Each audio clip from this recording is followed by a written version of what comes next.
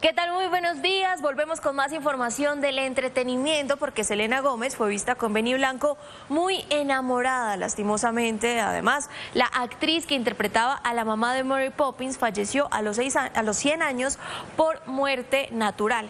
Y además tenemos detalles de lo que será el Festival Internacional de Música de Cartagena que arranca a partir de hoy. Entérense a continuación de estas y otras noticias del mundo de la cultura y el entretenimiento.